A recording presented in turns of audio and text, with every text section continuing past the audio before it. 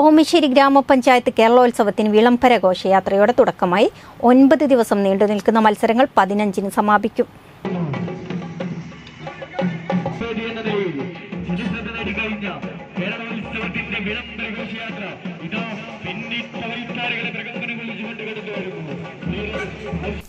ഓമശ്ശേരി പഞ്ചായത്തല തല കേരളോത്സവത്തിനാണ് ഓമശ്ശേരിയിൽ തുടക്കമായത്. ജനപ്രതിനിധികളും വിവിധ സംഘടനാ ഭാരവാഹികളും സ്റ്റുഡൻസ് പോലീസ് കേഡറ്റുകളും ആശാപ്രവർത്തകരും അംഗൻവാടി വർക്കർമാരും ഹരിത കർമ്മസേനാംഗങ്ങളും കുടുംബശ്രീ പ്രവർത്തകരും പഞ്ചായത്ത് ജീവനക്കാരും പൊതുജനങ്ങളും അണിനിരന്ന ഉജ്ജ്വല വിളംബര ഘോഷയാത്രയോടെയാണ് ഒൻപത് ദിവസം നീണ്ടു നിൽക്കുന്ന കേരളോത്സവത്തിന് തുടക്കമായത്.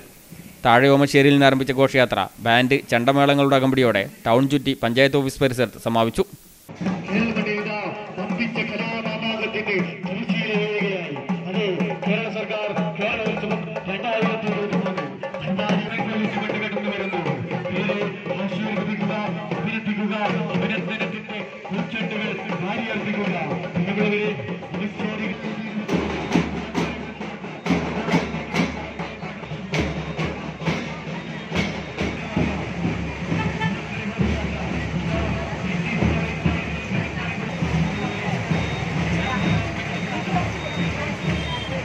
പഞ്ചായത്ത് പ്രസിഡന്റ് പി അബ്ദുൽ നാസർ ഉദ്ഘാടനം ചെയ്തു. വൈസ് പ്രസിഡന്റ് ഫാത്തിമ അബു അധ്യക്ഷയായി.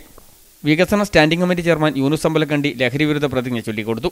ജില്ലാ പഞ്ചായത്ത് മെമ്പർ നാസർ സ്റ്റേറ്റ് മുക്ക് പഞ്ചായത്ത് ക്ഷേമകാര്യ standing committee chairperson Seenath Thattancheri block panchayat അംഗങ്ങളായ എസ് പി ഷഹന മഹ്റൂഫ് തട്ടാഞ്ചേരി എന്നിവർ സംസാരിച്ചു. ആരോഗ്യ വിദ്യാഭ്യാസ standing committee chairman K Karunakaran master panchayat secretary M P Muhammad Lukman തുടങ്ങിയവർ സംബന്ധിച്ചു. കൂടത്തായി സെന്റ് മേരീസ് ഹൈസ്കൂളിലെയും വേനപ്പാറ ഹോളി ഫാമിലി ഹൈസ്കൂളിലെയും വിദ്യാർത്ഥികൾ വിവിധ കലാരൂപങ്ങളും അവതരിപ്പിച്ചു. നാടൻപാട്ട് ഗായിക ശ്രീനിഷ വിനോദ് പി. ഷമീന എന്നിവർ ഗാനങ്ങളും ആലപിച്ചു. ശിവനോ സ്വന്തം സുഖത്തിന് വേണ്ടി അവനവന്റെ കുലത്തെ നശിപ്പിക്കാറുണ്ടോ? കഥകളും ഓൾ പണ്ട് കഴിച്ചു നിന്നത് നിങ്ങൾക്ക് ഓർമ്മയുണ്ടോ? അല്ല മാഷേ ഓരെന്തിനാ ഏത് നേരവും